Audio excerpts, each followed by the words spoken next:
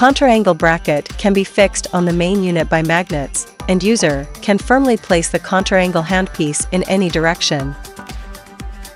Align the mark on the wire with the interface mark, then insert.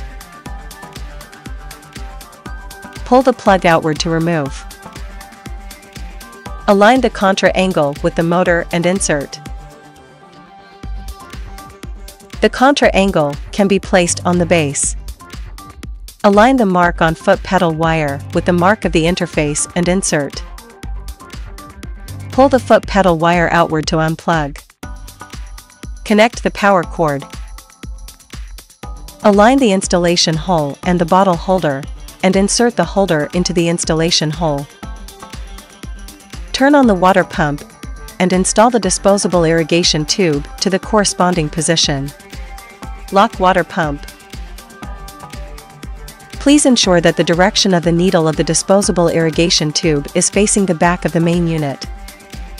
Hang up the water bottle. Close the disposable irrigation tube clip. Insert the needle into the bottle. Connect the disposable irrigation tube and the water connector of the contra angle. Open the air valve of the disposable irrigation tube and open the clip.